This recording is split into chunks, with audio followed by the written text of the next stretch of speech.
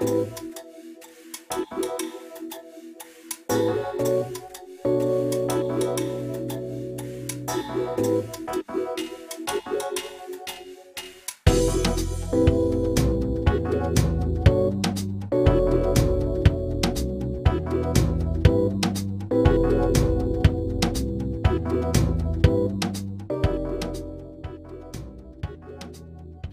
and wash can form the basis for some great little paintings.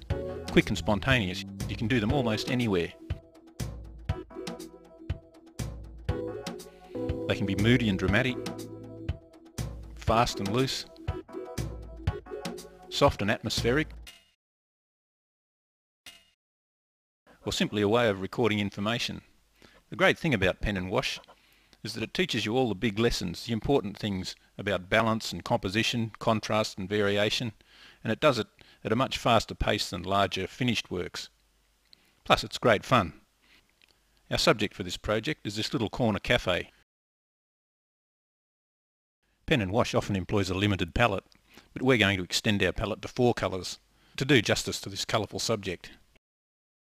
Before we get started, let's just have a look at the things we'll need to do this project. We will use a number 2 rigger brush, a quarter inch flat brush, a 1 inch flat brush and an old 2 inch bristle brush, the sort you find in the back of the garage cupboard. The colours we will need are ultramarine blue, phthalo blue, or Prussian blue will do if you don't have phthalo, permanent alizarin crimson, and quinacridone gold, or Indian yellow if you don't have quinacridone gold. We'll also need some burnt sienna ink a water spray, some white gouache and a small 1 8 sheet of watercolour paper. Now let's get on with our project. We'll go in straight away with pen. Don't muck around with pencil.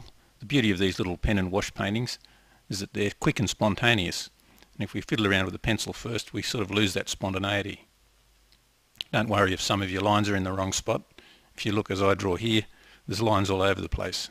It's just a matter of correcting them as you go but try and keep them nice and crisp and confident. And the secret to that is nice quick movements from your arm or your elbow, not from your wrist. Little tiny lines can be done with finger movements, but most of the lines are a fairly sweeping stroke.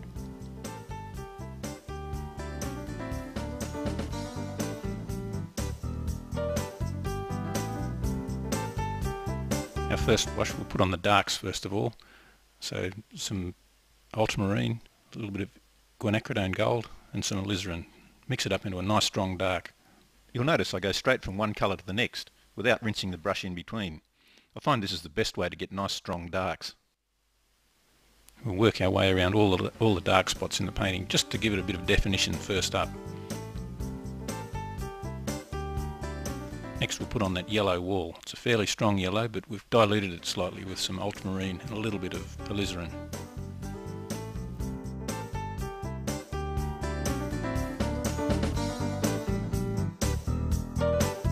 a little more ultramarine for this end wall.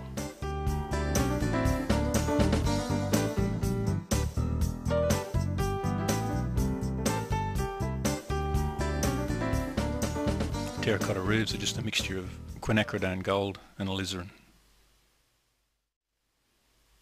You can see how this one inch flat brush cuts around the shapes very easily.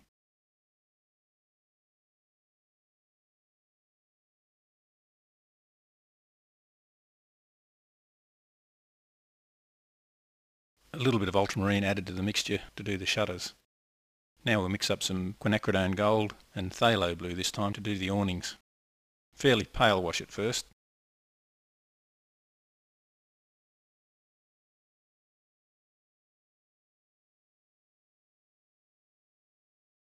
While those awnings are still wet, we'll drop in a little bit of stronger green, just a bit more phthalo blue mixed into the colour.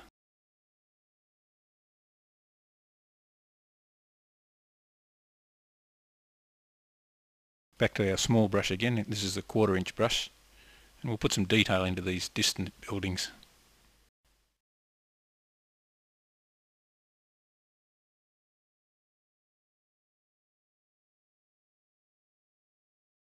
Stronger and we can put some windows into the ends of these shapes here.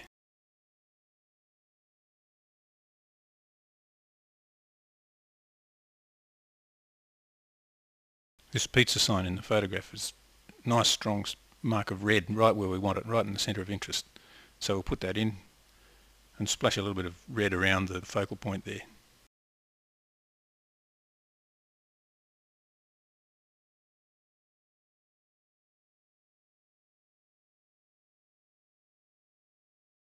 Suggest a couple of figures in against this yellow wall. Anywhere you get nice strong contrast you can put some in. Just very simple shapes.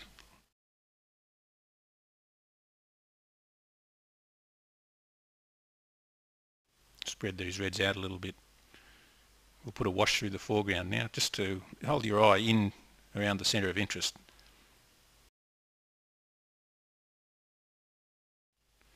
Bit more grey over these buildings We'll push them back a bit further. While we're at it we'll work on the sky. The same bluey grey can be scrubbed in there. We'll use our 2 inch brush now. Fairly cool grey and just work it over the area. Fairly wet, then dry your brush off and sort of feather it out. As it dries it'll become much more subtle.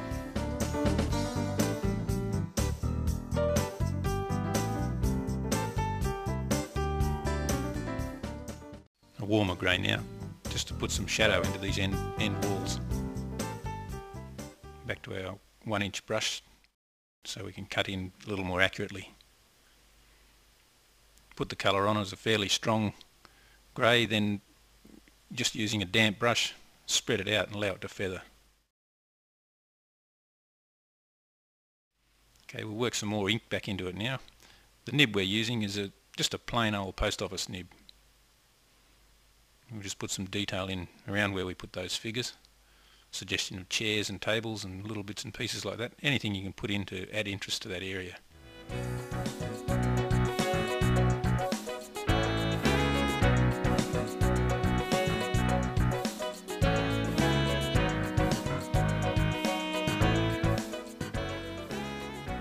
get some ink on here and spray it with our water spray. You can see how it's feathered out it's fairly wet now and as we put the ink on it bleeds out and gives it a nice soft line.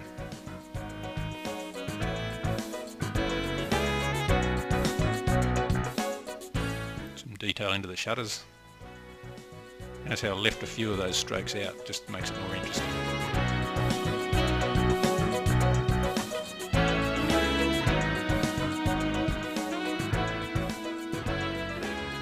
Just a few lines will suggest some detail in these distant buildings. Just a suggestion, not, not overworked, not too much detail. Some TV aerials. Satellite dish.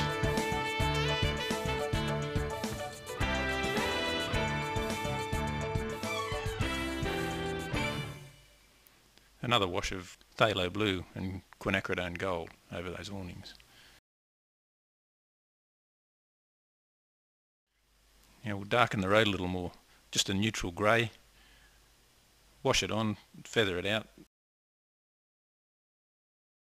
Then wash out your brush and dry it off so it's, it's fairly dry and just pick along that edge just to soften it. Back to our quarter inch brush and we'll put a little more detail in now.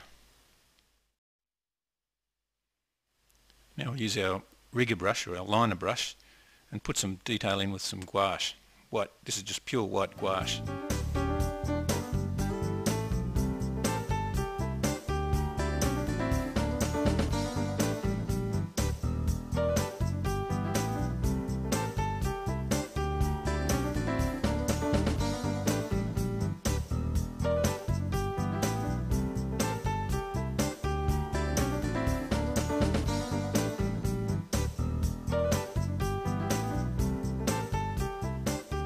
Last thing is just extend these buildings out towards the right hand side.